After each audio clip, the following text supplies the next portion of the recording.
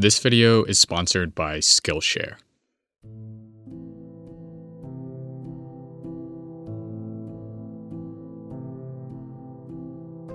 Growing up, I lived 12 miles away from Indian Point Energy Center, a nuclear power plant that supplies one quarter of New York City's energy, which is a massive amount of power when you consider that over 10 million people live in the city and its metropolitan area. But despite the plant's huge energy output, residents constantly worried about pollution and safety surrounding the 57 year old power plant.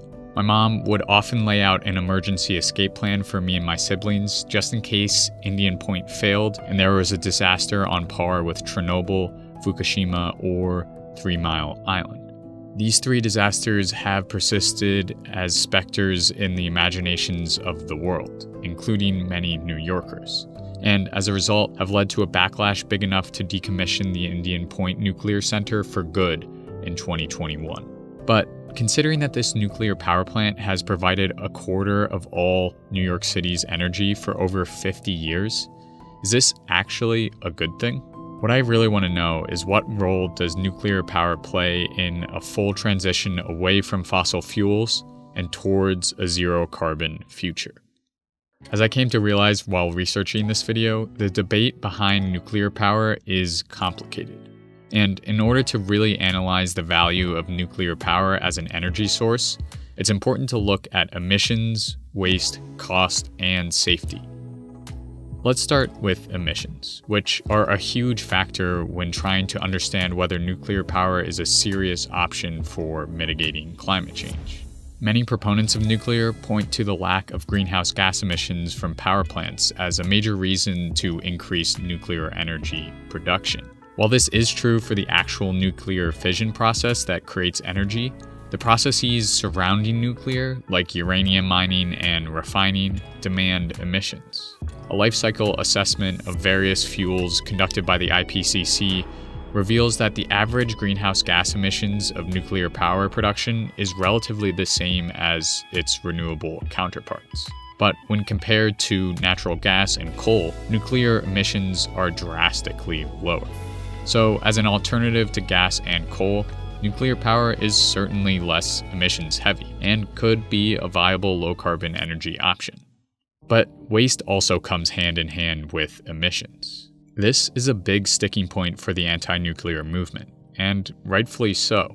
No one has really implemented a viable long term solution for nuclear waste storage. There are currently three main options right now on site storage, long term deep storage, or reprocessing fuel for use in other nuclear energy plants. Reprocessing spent fuel sounds like a perfect solution, but it's really not.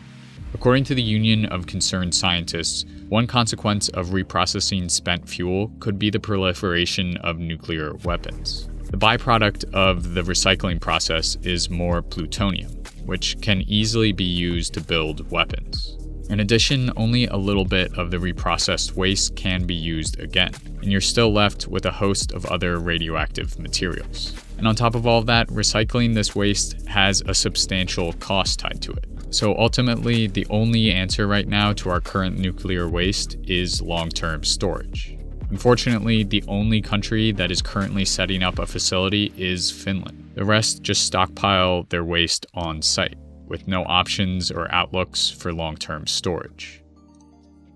The other two main elements that really hold back nuclear are cost and safety. Combined, the drawbacks of these make nuclear an infeasible solution to a swift decarbonization of our global electrical grid. The problem with nuclear energy is that technologically speaking, it is mature, etc., but it's incredibly expensive and very slow to build. That's Arjendu Pattanayak, a professor in the Carleton College Physics Department who teaches a class on sustainable energy policy and this cost is in the range of an average of $9 billion per plant in the US, with the possibility of a plant taking up to. And don't think 30 billion in 30 years is an unusual number to hear for a single plant. With that kind of price tag, nuclear energy production becomes almost twice that of other fuels, all while needing someone with deep pockets to finance the whole operation.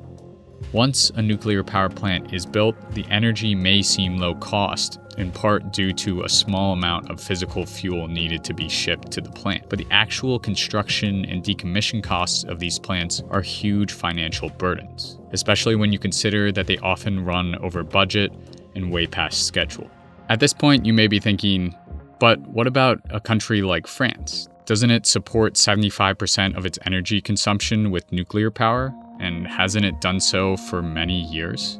Unfortunately, France is an outlier, not the norm. Partly, this is due to France's strong nuclear initiatives and top down political approach. France is a top down kind of governmental system, and so the bureaucrats basically call their friends in the technological world and say, What should we do? And they say nuclear, and say, Okay, and they just kept going. In the US and other countries lacking clear plans for nuclear power, however, the opportunity to use nuclear as a transition fuel to solar and wind has passed. It would take so much momentum that doesn't seem to exist for nuclear energy to have real legs. Indeed, if we are trying to rapidly decarbonize an energy grid like the US's within the next 10 to 30 years, nuclear power just isn't the answer in terms of cost and time. Part of the prohibitively slow and expensive nature of nuclear comes from safety concerns, which, when you look at death tolls, seem to be more of a product of public perception than an actual occurrence. Nuclear power per capita is actually the least harmful. According to a tally accumulated by Forbes, deaths caused by nuclear energy are much less when compared to coal, natural gas, or even wind and solar. But this low death rate could be due in part to the heavy safety regulations put on nuclear power plants already. Ultimately, nuclear power is a contentious source of energy. As a result of both the public imagination and the complexity of its system, nuclear requires a large chunk of initial capital and time to become a feasible source of quote unquote clean fuel, a fact which Professor Pattanayak agrees with. I personally don't see nuclear roaring back. A transition away from fossil fuels will definitely involve current nuclear power plants. But renewables like solar and wind have nowhere near reached their potential, especially once we've sorted out battery storage. Not only are renewables cheap compared to nuclear, they can be produced quickly and spread widely across the globe in a decentralized fashion. While nuclear does have the benefit of a massive power output, it is a slow and cumbersome beast.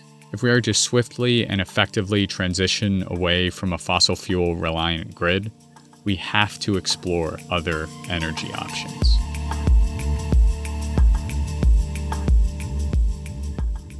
If you want to learn more about how to make motion graphics similar to those in my video, I'd highly recommend checking out this week's sponsor, Skillshare. Skillshare is an online learning community with over 25,000 classes covering topics like motion graphic design, video creation, and much, much more. Skillshare has been an essential way for me to hone my motion graphics skills and ultimately create the highest quality Our Changing Climate videos possible. I especially loved the course taught by Evan from Polymatter, which shows you how to make video essays from start to finish. Above all else, though, Skillshare is affordable. Their premium membership gives you unlimited access to high quality classes for under $10 a month if you sign up for an annual membership. So join the millions of creators and students on Skillshare today with a special offer just for you. The first 500 people to use the link in the description will get two months of unlimited access to Skillshare for free. Hey everyone, Charlie here. Thanks for making it all the way to the end screen. If you're loving the videos coming out of our Changing Climate and are looking for something more, then I'd highly recommend heading over to Patreon where you can get additional behind the scenes content, secret video essays, and more for just a couple of dollars a month. Thanks so much for your support, and I'll see you in two weeks.